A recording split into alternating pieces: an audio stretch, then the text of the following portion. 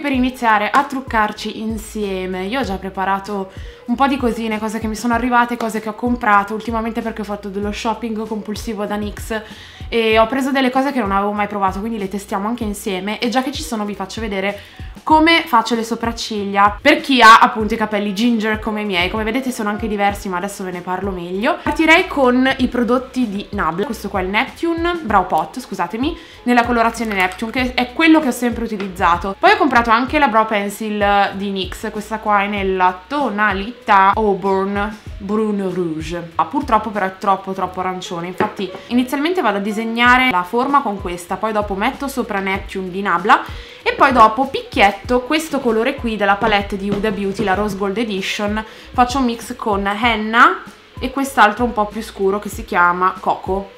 Vedete che è tanto tanto rossa, però la uso solo come base, giusto per andare a colorare il fondo.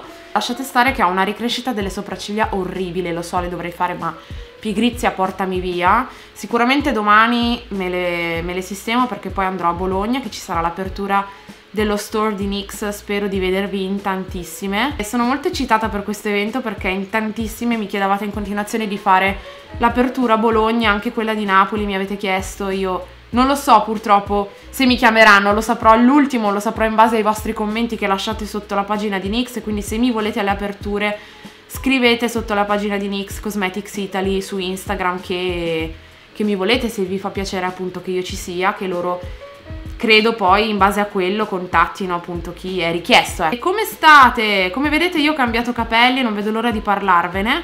C'è stato praticamente un disguido, se vi ricordate bene due video fa, prima del video assaggi, avevo i capelli più simili a questo colore qui, ecco, perché me lo ricordo proprio questo. Quando li avevo fatti la prima volta il parrucchiere mi aveva detto di, mm, di tornare per ripigmentare il capello perché avendo comunque sotto una base decolorata eh, sarebbe stato opportuno ripigmentarlo proprio per non andare a far scaricare troppo il colore. Io sono ritornata neanche una settimana dopo perché è così che mi avevano chiesto di fare.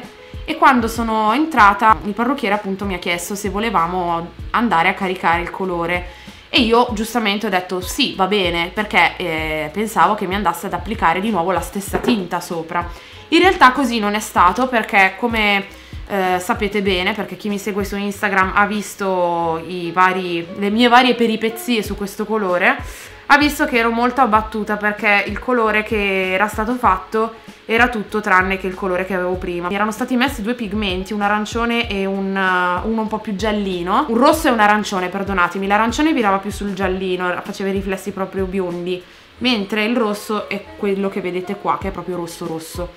Io non volevo questo, cioè io volevo i capelli come erano prima, li volevo mantenere, quindi non volevo un nuovo colore, non volevo un rosso. Il problema è che c'è stato un misunderstanding e questo, eh, per questa cosa ne hanno sofferto i miei capelli, proprio perché in una giornata avevo fatto, anzi in una settimana avevo già fatto due tinte Cosa è successo? Sono tornata non contenta il pomeriggio con Andrea e Andrea ha spiegato appunto che eh, il colore che avevo scelto non era questo, che già gliel'avevo anche detto io, ma continuava a controbattere dicendo che era il colore che avevo chiesto io, quando in realtà mi sa che ci siamo proprio capiti male e me l'hanno rifatto, mi hanno cercato di far scaricare la, il pigmento che non, non, scaricava perché era proprio forte. E alla fine mi ha piazzato sopra una tinta, la tinta un po' più scura di, che, di quella che avevo fatto la prima volta. In questo modo è andata a spegnere i pigmenti che mi aveva applicato facendo uscire un colore abbastanza simile a quello che avevo prima che per me era appunto decente. Però piano piano che li, le lavo scaricano spero scarichino.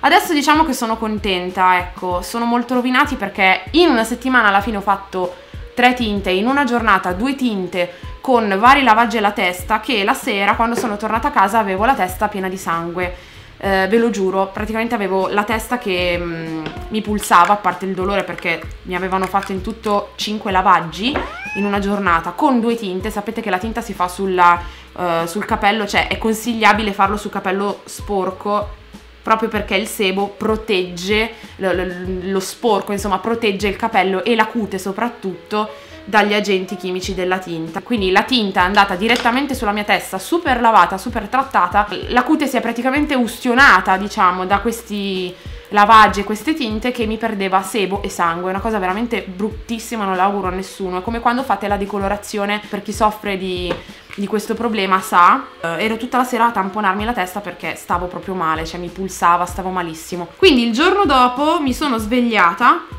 che avevo le crosticine, le classiche crosticine da, da decolorazione, proprio brutto brutto brutto, un risveglio orribile e me li sono lavati, cosa che mi avevano sconsigliato di fare, ma avevo tutti i capelli appiccicati e non potevo andare in giro così, non potevo toccarmeli, non potevo sdraiarmi che sentivo proprio il duro dei capelli, della testa, era come se avessi sopra una... Avete presente quando fate la maschera all'argilla, no? Che vi secca tutto e vi sentite la faccia che non si può muovere, ecco, la stessa cosa sentivo sulla cute, sulla testa e questa esperienza per me è stata orribile e adesso ora che rifarò la tinta ne passerà di tempo perché per adesso mi va bene questo colore, mi piace come sta scaricando, lo terrò così e mm, sto cercando di fare degli impacchi alla keratina, uh, sto utilizzando anche il Bond Ultimate che avevo comprato io. Come vedete qui ho comprato alcune cose di NYX e uh, voglio iniziare ad utilizzare queste che sono le NYX Lingerie per gli occhi, le Lid Lingerie Matte. Allora, una nella tonalità 14 che è questa qua bianca,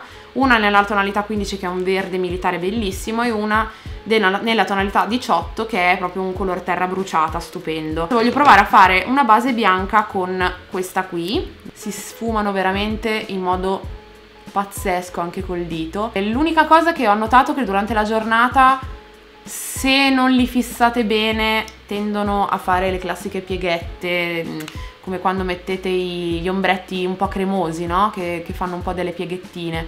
Come base, sempre dalla palette di Huda Beauty, che è quella che sto utilizzando più di tutti ultimamente, e lo sapete bene, vado ad utilizzare questo colore qui, e lo mixo un po' con un Dusk che è un po' shimmer. Tra l'altro non ho molti pennelli perché li devo lavare e la voglia per lavarli non c'è mai perché sono molto pigra. E niente, a parte questa cosa, sì, diciamo che adesso sono molto contenta sto cercando come vi ho detto di risanarli un attimo con vari impacchi, varie maschere, anzi se avete delle maschere che mi sapete consigliare eh, fai da te anche, fatemelo sapere perché mi devo mettere proprio di impegno a cercare di curarli. Adesso vado ad applicare henna e coco, gli stessi colori che ho applicato sulle sopracciglia per intensificare l'angolo esterno e nella piega. Cosa vi racconto? Allora, vi ho chiesto su Instagram di farmi delle domande, uh, mi avete scritto, infatti adesso leggerò un po' di commenti insieme a voi per rispondere. Vado ad applicare anche Black Truffle, che è questo nero matte, con un po' di bossi e lo picchietto, come vedete, nella parte esterna. Adesso volevo ricominciare i, i weekly vlog da, o da oggi o da domani, in base a alla batteria della videocamera, insomma, devo caricarla. Vi porterò anche con me a Bologna, non vedo l'ora. Mi mancavate, mi sentirò sicuramente un po' imbarazzata nel registrare perché è passato molto molto tempo, è passata tutta l'estate da quando non registravo più. Ho notato che molte persone sono tornate su YouTube, anche Antonio, e sono molto contenta del video che ha realizzato perché, eh, devo essere sincera, mi sono letta un po' di commenti sotto al suo video e non mi è piaciuto per niente eh, quello che alcune persone gli hanno detto, perché detto tra di noi... Mm, quando uno torna mette comunque in gioco, cioè ci mette ancora di più la faccia perché per voi sembra un video normale, però se uno non è più abituato a registrare o comunque ha, fatto, ha, preso delle decisioni, se lui ha deciso di fare questo ritorno in casa mia, girando il video nella mia sala, con me presente dove facevo la scema, dove lo interrompevo, è perché lui mi ha chiesto di fare queste cose per cercare di spronarlo a essere il più naturale possibile, perché per voi sembra facile vedere un video e dire ah ok si è messo lì e ha registrato con la videocamera, no perché quando prendi una decisione di non fare più video per poi tornare dopo tanto dove sei comunque imbarazzato davanti a una videocamera perché è normale imbarazzarsi davanti a una videocamera perché poi pensi chissà chi guarda i miei video, chissà cosa pensa, quindi automaticamente ti viene anche da, non dico fingere, però essere un attimo più contenuto rispetto a quello che sei di solito, no? E l'essere contenuto, cioè il contenersi durante la registrazione di un video non è mai bello, perché comunque celi una parte di te che è bello mostrare, ma allo stesso tempo ti fa paura questa cosa perché dici cavolo, chissà chi guarda il mio video, chissà chi lo giudica, chissà cosa pensano di me. Mostrarsi a nudo è sempre difficile, come quando conoscete una persona e all'inizio non, non, non siete mai il 100% voi stessi. Questo discorso lo faccio perché riguarda anche me io quando tornerò sui weekly non sarò all'inizio la solita Gloria che ero, perché giustamente c'è un po' una sorta di imbarazzo a tornare a raccontarvi di nuovo quello che faccio ogni giorno, dato che si è ricreata una privacy nella mia vita che non c'era quando facevo i weekly, nel senso che sì, le cose mie private le tenevo per me come ho sempre fatto, però fai vedere più te stesso, quindi mostrarsi a nudo è sempre difficile e spero che voi questa cosa la capiate anche per, per, nei miei confronti, anche per quanto mi riguarda. È brutto leggere dei commenti dove ti buttano giù e ti dicono ah però mi piacevi di più prima quando facevi questo la gente si evolve, la gente cambia, la gente cresce, la gente ha voglia di far vedere anche altri lati di se stesso, proprio per non rimanere fossilizzato in una cosa. Poi ci sono quelle persone che durante la, il loro percorso su YouTube rimangono quelle che sono perché gli va bene così, perché prendono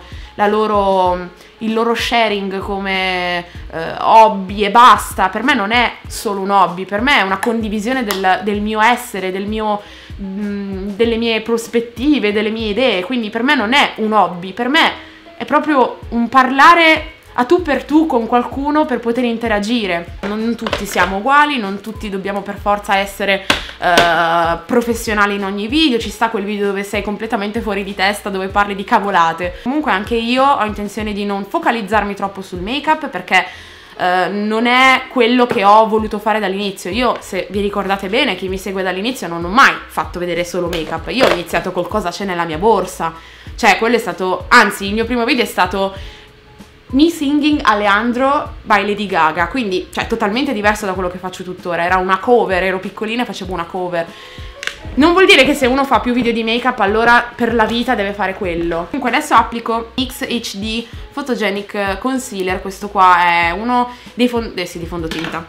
Perfetto uno dei correttori che adoravo quando avevo provato per la prima volta NYX che avevo acquistato sul sito europeo quando NYX ancora in Italia non esisteva e lo adoravo tantissimo è uno dei miei era ed è uno dei miei preferiti mi piace tantissimo comunque sto applicando questo qua che ho acquistato anche l'altro giorno questo qui è il NYX come si chiama? Questo qua è il fondotinta minerale di NYX in stick nella colorazione numero 2 porcellana, molto molto bello. Diciamo che se volete una copertura tanto alta è uno stick che non copre tantissimo, però se volete una copertura mm, eh, medio-bassa molto naturale è molto carino. Tanto non devo andare a fare una sfilata, le tengo così, poi devo uscire, devo andare a fare un attimo shopping per Bologna perché non so cosa vest- con come vestirmi, cosa mettere, quindi va bene così. Se volete tutorial un po' più professionali andatevi a guardare quelli vecchi. Oh mio dio, 31 messaggi. Allora, vediamo. Martina Marino 13 mi chiede Ciao, eh, che fine hai fatto con i capelli poi? Ve l'ho spiegato prima. Eh, Gloria Glo 98 Non so che domanda farti, spero di riuscire a vederti sabato. Mua, grazie tesoro, spero di vederti anch'io. Terevi02 mi chiede Sei mai stata in Calabria? Se sì, dove? Ok, questa domanda mi volevo un attimo dilungare per dirvi una bella cosa. Ieri in live mi avete chiesto um, delle cose sulla mia vita passata, nel senso sembra che mi sono reincarnata, no, su quello che è stato il mio passato. Vi ho detto appunto che io ho abitato in Calabria, sono stata in Calabria ad abitare per uh, un anno. Adesso vado ad applicare l'eyeliner, questo qua è quello di Makeup Forever, l'acqua XL. La mia mamma è calabrese, mio nonno materno, quindi il padre di mia mamma, eh, non passavamo per niente un bel periodo economico. Mio padre aveva perso il lavoro, mio padre faceva pubblicità per i negozi di mobili, quindi organizzava tutto lui, si preoccupava di, mm, di, pubblicizzare proprio i negozi di mobili quando facevano le promozioni e quando ho perso il lavoro mio nonno ci ha proposto di andare ad abitare in Calabria per aprire un, un bar, un'attività, un negozio, no? E il problema è che quando ci siamo trasferiti io ho lasciato casa, scuola, amici. Case, libri, auto, viaggi, fogli di giornale. Tutti i contatti che avevo, mio fratello ha lasciato la ragazza, l'ex ragazza, perché io ho cambiato, come vi ho detto in live, più case che vestiti e non so se ve lo racconterò mai, però la mia infanzia è stata molto molto difficile, piena d'amore ma allo stesso tempo veramente veramente difficile per la crescita di due, di due figli che comunque erano nella, nel pieno dell'adolescenza, quando sei lì che inizi a costruirti dei rapporti, uh, hai una visione della vita completamente diversa e completamente distorta da quella che magari gli altri compagni hanno, tutta fatta di nuvolette colorate, sole, fiorellini più è vero, più andiamo avanti, più gli adolescenti crescono con la consapevolezza che il mondo è una merda e questo è veramente triste. Mi sono trovata subito bene perché, sapete, sono una persona molto, spero l'abbiate capito anche dagli incontri, che sono sempre pronta a nuove amicizie, nonostante tutto. Ero ancora di più pronta a nuove amicizie proprio perché l'avevo presa come una, una prova, una scoperta di me stessa, ho detto ok, cambio casa, cambio tutto, nasce una nuova gloria, no? Vado a scuola, inizio a essere diversa da com'ero, meno impacciata, eh, qui non mi conoscono da quando ero più piccola, non mi prendono per il culo, per i denti, per il mio profilo, eh, non sanno i miei problemi economici, non, non sanno niente di me, quindi mi posso mettere un nuovo vestito e presentarmi come la nuova Gloria. Così ho fatto, sono andata a scuola e infatti andavo a scuola mi chiamavano la milanese, è arrivata la milanese! E a un certo punto è successo che ci siamo dovuti trasferire di nuovo perché il progetto non era andato a buon fine, non se ne voleva più far niente, quindi ce ne siamo andati per qualche mese da mia zia in, cioè a Reggio Calabria. Laura Lanzani chiede, ciao Glo, volevo chiederti uh, come vi siete conosciuti tu e Andrea da quanto state insieme? Un bacione sullo spettacolo, grazie Laura.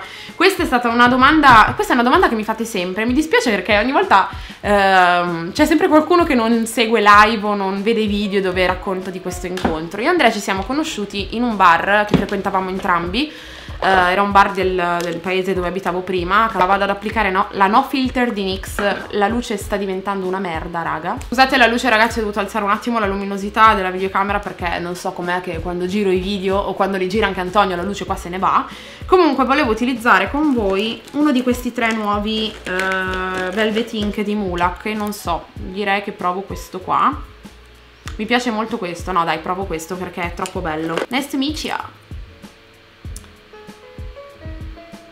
E voilà, questo è il colore. Il make up è finito perché non voglio caricarlo troppo, come vi ho detto devo solo uscire a fare due acquistini e basta, non devo fare niente di che e mi tengo la pelle abbastanza leggera per i prossimi giorni dell'evento. Qual è la cosa che ti fa impazzire? Ti adoro. Grazie Alessia, Alessia Ronchetti me l'ha scritto questo messaggio.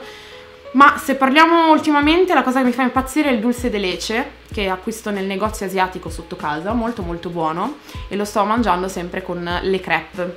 che goduria. Serenere 43 di Serenere mi chiede, ciao Gloria, potresti fare anche un video mi trucco con voi con i trucchi economici tipo Essence, Catrice, Pupa, Kiko, eccetera? Fammi sapere, ti adoro. Grazie Sere. Allora, ma, mh, mm, potrei farlo, ma non ce li ho, nel senso che i trucchi che ho oramai, che ho voluto tenere perché li utilizzo veramente, sono trucchi che ehm, secondo me sono validi sia per qualità prezzo sia perché appunto mi piacciono e li utilizzo tutti i giorni. E purtroppo questi trucchi sono per la maggior parte di, nella, fascia si possono classificare medio-alta eh, questo perché sono dell'idea che se vuoi un make up che duri, che sia comunque soddisfacente conviene non spendere soldini in qualcosa che butti dopo un mese, uh, piuttosto ti tieni appunto questi soldi e li spendi in qualcosa di più decente, di più performante, ecco. Non che questi brand siano troppo cheap, perché alcuni brand sfornano veramente dei prodotti molto molto validi. Il problema è trovarli, perché io uh, Essence non compro più da tanto. Catrice non ho mai comprato, Pupa non ho mai acquistato se non quando avevo 13 anni. Pico mi ha inviato qualche cosa, ma... Oddio, scusatemi.